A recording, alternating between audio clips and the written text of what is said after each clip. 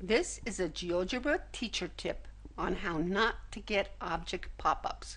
Question one, what's an object pop-up? So let's say I've made this GeoGebra file and now I want to discuss it. So I say, oh, 80, and that's the object pop-up. It says quadrilateral there, which I really don't need to know at the time.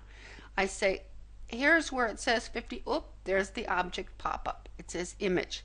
This is very distracting to students. It's very distracting to me. And everywhere I go, if I try to move the slider, I get an object pop-up.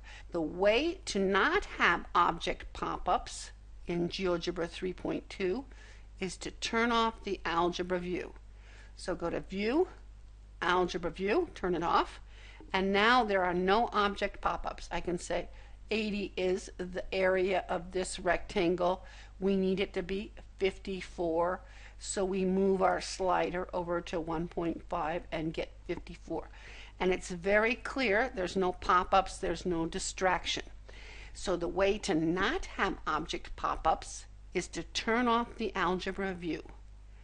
Now, if you think it's important that we have the algebra view open and an option to turn off the pop-ups, we need to tell this to the GeoGebra developers.